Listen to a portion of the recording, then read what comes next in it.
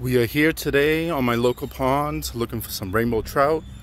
This is the first time I'm pulling out the Salty PDL 120 and we're gonna see how it does. I'm six foot, 240 pounds. Let's see if it's um, stable and see how fast we can go. Now let's get some fish. We are on the water. I have some water socks and some water shoes uh, so far, it's pretty smooth. Um, I also have a big water 132. Um, and this seems a little faster already. It seems a little smooth. Um, so first spot we're gonna hit is this little narrow channel here. Um, in the past, we were able to fish behind in these woods, but now there's no trespassing signs. So I'm gonna drop a jig down and see if I can jig up some trout. We're on the main pond now. There's some people fishing on shore. And what, not, what I'm doing now is I'm trolling a dodger. And behind the dodger is a wedding ring and with a piece of power bait on it.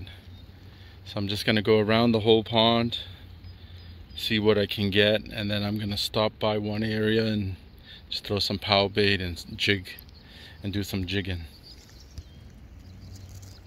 Update. I've been using this lure, trolling around.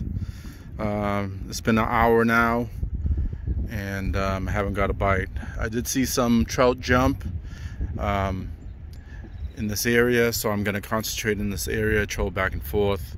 I think I'm going to go a little bit deeper, quarter ounce. I think I'm going to use a Joe's fly and see what we get. First trout of the season on the Joe Flies. It's about a 13 inch trout. Uh, I will be harvesting them, um, but this is the first one of the season and on the new salty. Sweet. So it's been two hours. I have one trout, rainbow trout, about 13 inches on the Joe Flies with a quarter ounce weight to bring it to the bottom. Now I'm just relaxing here at the dock. Uh, threw some power bait out and I'm um, just throwing a spinner, my favorite color, um, and see what I get. Um, hopefully we'll get uh, our limit. Our limit in uh, here is three rainbow trout per person per day. Um, hopefully we can get that and we'll see. So two and a half hours, only one rainbow trout heading back to the boat ramp and calling it a day. And let's uh, go home and eat some trout. Thank you for watching. See you next time